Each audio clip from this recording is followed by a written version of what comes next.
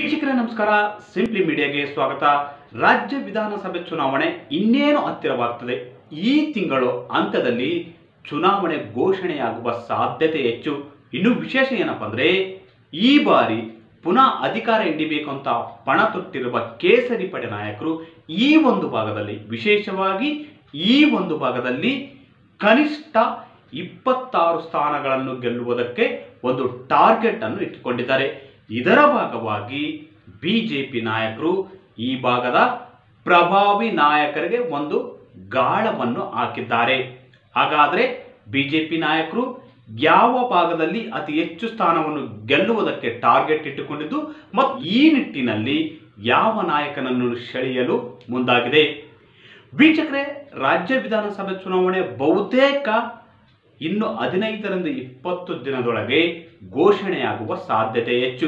ಹೀಗಾಗಿ ಪ್ರಮುಖ ಮೂರು ಪಕ್ಷಗಳು ಜೆ ಡಿ ಎಸ್ ಕಾಂಗ್ರೆಸ್ ಮತ್ತು ಬಿಜೆಪಿ, ತಮ್ಮ ಪಕ್ಷದ ಮೂಲ ನಾಯಕರನ್ನು, ಈಗಾಗಲೇ ತಮ್ಮ ಪಕ್ಷ ಕಳೆದ ಎರಡು ಮೂರು ವರ್ಷಗಳಲ್ಲಿ ಮರೆಯದ ನಾಯಕರನ್ನು ತಮ್ಮತ್ತ ಸೆಳೆಯಲು ಈ ಮೂರು ಪಕ್ಷಗಳು ಮುಂದಾಗಿವೆ. ಈ ನಿಟ್ಟಿನಲ್ಲಿ ಬಿಜೆಪಿ ಕೂಡ ತನ್ನ ಕಾರ್ಯಾಚರಣೆಯನ್ನು ಆರಂಭಿಸಿದೆ. ಅಷ್ಟೇ ಅಲ್ಲ ಕಲ್ಯಾಣ ಕರ್ನಾಟಕ ಭಾಗದಲ್ಲಿ ಈ ಬಾರಿ ಅತಿ ಹೆಚ್ಚು ಸ್ಥಾನವನ್ನು ಗೆಲ್ಲಲೇಬೇಕು ಅಂತ ಪಣ ತೊಟ್ಟಿರ್ತಕ್ಕಂಥ ಬಿಜೆಪಿ ನಾಯಕರು ಹೊಸ ಪ್ರಾದೇಶಿಕ ಪಕ್ಷವನ್ನು ಸ್ಥಾಪಿಸಿರುವ ಗಾಲಿ ಜನಾರ್ದನ್ ರೆಡ್ಡಿ ಅವರನ್ನು ಸೆಳೆಯುವುದಕ್ಕೆ ಮುಂದಾಗಿದೆ. ಈ ನಿಟ್ಟಿನಲ್ಲಿ ಮಾತುಕತೆ ಕೂಡ ನಡೆದಿದೆ ಎಂಬ ಮಾತುಗಳು ರಾಜಕೀಯ ವಲಯದಲ್ಲಿ ಕೇಳಿಬರತೊಡಗಿವೆ ಹಾಗಾದರೆ ಗಾಲಿ ಜನಾರ್ದನ್ ರೆಡ್ಡಿ ಅವರನ್ನು ಬಿಜೆಪಿ ಮತ್ತೆ ಸೆಳೆಯುವುದಕ್ಕೆ ಮುಂದಾಗಿದ್ದಕ್ಕೆ ಪ್ರಮುಖವಾಗಿ ಎರಡು ಕಾರಣಗಳಿವೆ. ಅದರಲ್ಲಿ ಪ್ರಮುಖ ಮೊದಲನೇ ಕಾರಣ ಏನಪ್ಪ ಅಂದರೆ ಕಲ್ಯಾಣ ಕರ್ನಾಟಕ ಭಾಗದಲ್ಲಿ ಕರ್ನಾಟಕ ರಾಜ್ಯ ಪ್ರಗತಿ ಪಕ್ಷದ ಮುಖಂಡರಾಗಿರ್ತಕ್ಕಂಥ ಮತ್ತು ಸಂಸ್ಥಾಪಕರಾಗಿರ್ತಕ್ಕಂಥ ಗಾಲಿ ಜನಾರ್ದನ್ ರೆಡ್ಡಿ ಈ ಭಾಗದಲ್ಲಿ ಕನಿಷ್ಠ ಇಪ್ಪತ್ತು ಸ್ಥಾನಗಳನ್ನು ಗೆಲ್ಲುವುದಕ್ಕೆ ಅವರು ಒಂದು ಟಾರ್ಗೆಟ್ ಇಟ್ಟುಕೊಂಡಿದ್ದಾರೆ. ಅಷ್ಟೇ ಅಲ್ಲ, ಈ ಭಾಗದಲ್ಲಿ ಬಿಜೆಪಿ ಶಕ್ತಿ ಕೂಡ ಅಷ್ಟಕ್ಕಷ್ಟೇ ಇದೆ. ಒಂದು ವೇಳೆ ರೆಡ್ಡಿ ಪ್ರಯತ್ನ, ಶಕ್ತಿ ಮೀರಿ ಪ್ರಯತ್ನ ಮಾಡಿದರೆ ಅದು ಈ ಭಾಗದಲ್ಲಿ, ಅಂದರೆ ಕಲ್ಯಾಣ ಕರ್ನಾಟಕ ಭಾಗದಲ್ಲಿ ಬಿ ಜೆ ಪಿಗೆ ಬಹುದೊಡ್ಡ ಹಿನ್ನಡೆಯನ್ನು ತಂದೊಡ್ಡಲಿದೆ. ಅಷ್ಟೇ ಅಲ್ಲ, ಕಲ್ಯಾಣ ಕರ್ನಾಟಕ ಭಾಗದ ಬಿಜೆಪಿ ಪ್ರಮುಖ ನಾಯಕರು ಕೂಡ ರೆಡ್ಡಿಯನ್ನು ಮತ್ತೆ ಪಕ್ಷಕ್ಕೆ ಸೇರ್ಪಡೆ ಮಾಡಿಕೊಳ್ಳಿ ಅಂತ ಪಕ್ಷದ ಹಿರಿಯ ನಾಯಕರಿಗೆ ದುಂಬಾಲು ಬಿದ್ದಿದ್ದಾರೆ. ಕಲ್ಯಾಣ ಕರ್ನಾಟಕ ಭಾಗದಲ್ಲಿ ಬಿಜೆಪಿ ಈ ಬಾರಿ ಹನ್ನೊಂದು ಸ್ಥಾನಗಳನ್ನು ಗೆದ್ದಿತ್ತು. ನಂತರ ಒಂದು ರಾಜಕೀಯ ಪಲ್ಲಟಗಳ ಬಳಿಕ ಅದರ ಸಂಖ್ಯೆ ಈಗ ಹದಿನೈದಕ್ಕಾಗಿದೆ.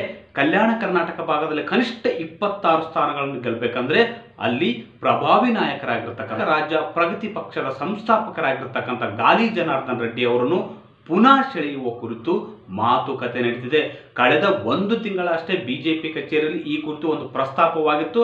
ಆದರೆ ಅದು ಅಮಿತ್ ಶಾ ಭೇಟಿ ವೇಳೆ ಕೂಡ ಪ್ರಸ್ತಾಪವಾಗಿತ್ತು. ಆದರೆ ಮುಂದಿನದು ನಾನು ನೋಡಿಕೊಳ್ತೇನೆ ನೀವು ಪಕ್ಷ ಸಂಘಟನೆ ಮಾಡಿ ಎಂಬ ಸಂದೇಶವನ್ನು ಕೂಡ ಅಮಿತ್ ಶಾ ಅವರು ರಾಜ್ಯ ನಾಯಕರಿಗೆ ನೀಡಿದ್ರು.